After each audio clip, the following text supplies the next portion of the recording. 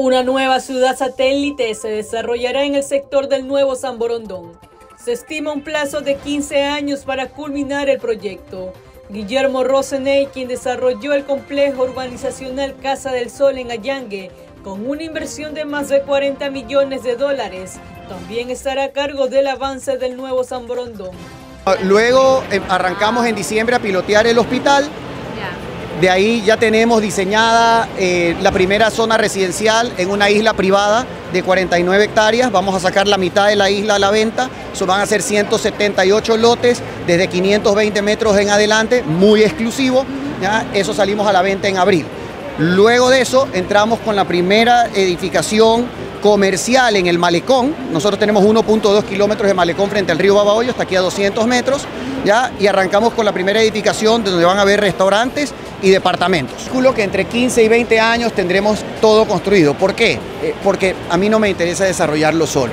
Eventualmente nosotros vamos a vender espacios a las personas que van a desarrollar el centro comercial, a la gente que va a desarrollar el colegio. Tenemos espacios para gasolineras, tenemos, o sea, aquí ya existe un master plan total eh, donde vas a tener hasta patios de carros, etcétera. Todo está visualizado para que se desarrollen alrededor de 20 años. Desarrollo de todo este proyecto que comprende Santiago del Nuevo San Borondón demandará una inversión de mil millones de dólares. Como parte del macro proyecto se construirá el Hospital Santiago, que tendrá una inversión de 102 millones de dólares en su primera fase.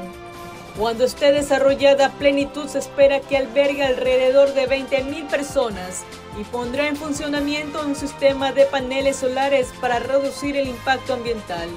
Además incluirá un colegio, una facultad de medicina, centro comercial, iglesia, farmacia, torres de consultorios y oficinas.